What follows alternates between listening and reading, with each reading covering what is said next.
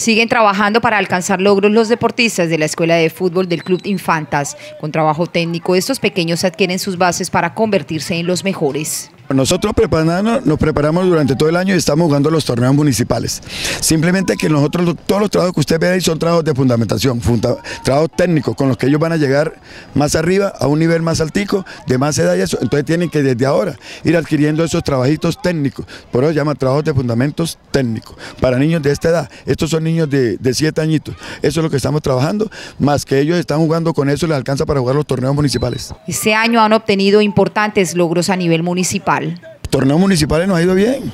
Nosotros tenemos una 12 que va de primero, está jugando ahorita semifinales. Tenemos una 10 que terminó de primero también en el grupo. Tenemos una 6 que también va de primero.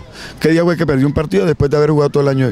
Y tenemos una, una, una 8 que también está ahí también. Entonces no nos podemos quedar nos, hemos ido, nos ha ido bien. No trabajamos para ser los campeones, pero sí trabajamos para que se vea el trabajito de los niños y los papás miren que si hay un trabajo aquí en las escuelas del Club Infante. Agrega el profe que es importante que los niños y jóvenes practiquen deporte. La importancia de que los menores practiquen este deporte es porque hay que hacer deporte y los niños hay que tenerlos en un deporte, no solamente fútbol, puede ser en cualquier otro deporte, pero hay que hacerle deporte a los niños porque si no llegamos sin motricidad, sin nada de eso, a estar grande ahí. Entonces por eso es deporte, deporte es hace niños sanos. Estas escuelas de fútbol están conformadas por todas las categorías.